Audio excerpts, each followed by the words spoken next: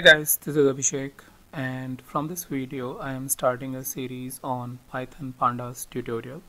So probably most of you are already aware about uh, Python pandas but uh, if you are not aware then Python pandas are basically a very famous library for doing the data manipulation like uh, importing your data from various sources, merging it, you know, manipulating it and putting it in a structure so that you can further do the data science work.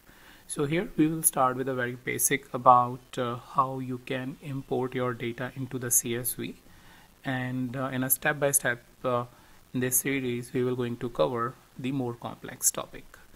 So first of all let's go ahead and talk about how you can import the CSV data into Python and exploring their couple of options when you are loading the data. So first thing is importing the pandas libraries. So import pandas as PD. So what I'm using is basically a Jupyter notebook which is a part of Anaconda distribution and uh, by default this pandas library is coming with this. So if you are using the uh, Anaconda distribution you will be getting this and I will highly recommend that you use the Jupyter notebook because it comes with all the default settings which uh, probably you as a beginner need uh, without going much into the complexity about what are all the libraries you need or don't need. So go for uh, you know Anaconda uh, as a search term in Google and you will find the uh, Anaconda distribution for Python and just go ahead and install it and you will find the Jupyter in as an icon in your start program if you are using Windows. Alright, so first thing is importing pandas as PD. So let's go ahead and execute this. And once you execute this, uh, we need to you know use the function read underscore csv so as you have seen we have import the pandas as pd so as pd is basically giving an alias to pandas library so that we don't have to write a long name as pandas. And here in the second statement we are creating an object nifty which is a trade C, uh, index over here in India which contains uh, top 50 stocks and what we are asking is basically to read a file from our desktop location. So pd dot read underscore csv is a function which uh, is a part of the pandas library. And then we are simply giving the path nifty data.csv so this file is already on my desktop and I will sh share the link with you in the description for this particular file and uh, then the next statement over here we are using is nifty dot head so head is nothing but it shows first initial observation around five or six observations about the entire data set so that you can get an idea about what you have loaded and review it whether everything is uh, not everything but at least all the columns have been loaded properly at least. So let's go ahead and execute this.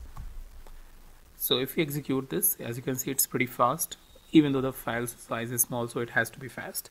So here we have uh, loaded the data with the help of this command and giving the file name nifty data.csv and then nifty.head and you can see the five observation.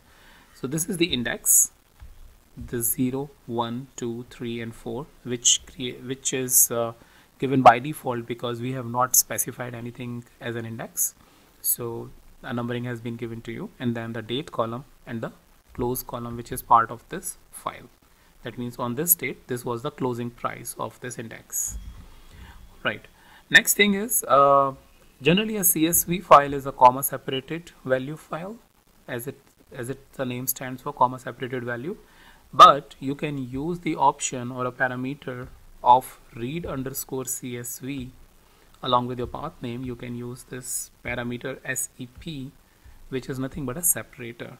So separator can be comma which is the default choice. But if you are looking at your file and you think you see that it's not a comma but a pipe let's say then you can give even pipe or tilde or anything else you know which is separating your values. So you can use the SEP the separator argument of this function and get your data in a proper format if it is not just the comma. So let's go ahead and execute this. And as you can see again the output will be same with the head command. So let's go ahead and uh, see the another parameter which is n rows. N rows is basically helpful. Let's say you are having a file of uh, you know of a GB or a multiple GBs file like 3 GB 5 GB file and it is taking a lot of time and while loading you know it, you makes you see that there are some issues with the file. So what you can do is you can load some initial observations like 1000 observation or 10,000 observations which will give you an indication whether there is a problem with the file or not. So in that case if you want to limit the number of rows that you are importing into the uh, Python uh, within this object nifty then you can use this n rows parameter. So if I go ahead and execute this and show the entire object so if you see this time I'm not using head like I have used it over here to show the first five observation I'm I'm basically trying to show the entire observations. So if I go ahead and execute this it will show you all the 20 observation. So from 0 to 19 if I show you from 0 to 19 all the 20 observation. If you want you can change the n rows to from 20 to 200 to 2000 based on you know uh, the, the experiment that you want to do and the number of rows that you want for that experiment. All right let's go ahead and uh, see the next parameter. The next parameter is uh, header. Sometimes your file is not having the any header and in that case you can specify header is equals to none. And uh, by default like index the header value will be given as 0 1 2 3 depends on the number of columns that you have. So let's go ahead and uh, and adjust our file a little bit. Um, so for example we have this nifty data and let's remove this row and let's delete this all right we have just removed our headers to create this examples. And let's see the file in action. Alright so let's go ahead and execute this piece. And here you can see the file is uh, loaded but the header has been given as 0 and 1 let's see what happens in case of uh, this parameter is not given. So if I execute it again by pressing shift enter the name of the first observation have been taken as the uh, header of this data set which is not correct. That is why it is important that you give header is equals to none. And then the observation will come as it is and header values will be 0 and 1 so that's why whenever your data set or the file is not having any header please give this header is equals to none.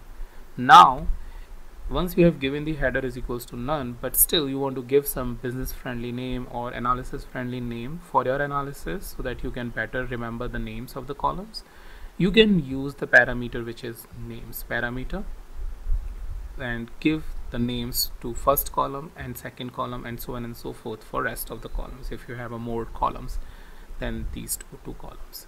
So header is equals to none and the names parameter that you should remember in such cases where you need to give the uh, different names or new names altogether to the header.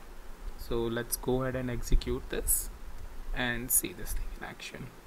Now you can see that we have a trade and a closing price as per the names that we have given. So names is the parameter that you need to use. Apart from that you can also uh, store the name of the these columns in a different object altogether like this. In this case call underscore name and then give the name of the columns like this. And using the names parameter you can specify the call underscore name to to basically give the name of the columns. So it will give the similar output like this if I'll just go ahead and uh, use head and press shift enter. So with this uh, the same output is given like there. The only changes we have used the call underscore name object to store our name of the columns. Now the next piece is uh, make the uh, location variable. So here so far we have been giving the hard-coded location but again uh, if we want to use like this as an object we have used it for the names. We can give the uh, create an object of location LOC and give it a name over here. So that uh, let's say this this particular location is being used uh, at uh, 100 different times in your analysis for example. So if you are not doing this not storing the name of the location you will have to go on those 100 statements and change it. But here in this case if you are storing it in an object you will just have to change this parameter at one single time and all your 100 statements will be changed because they will be accessing this LOC like this right? So that's the benefit if you are making your location variable. Otherwise you will have to go in 100 different steps and change the hard-coded value so if I do that it will again go ahead and execute this without any issue. So that's pretty much all I have for you in this video. And in the next video I will talk about the Excel data how you can read it and we will explore some options over there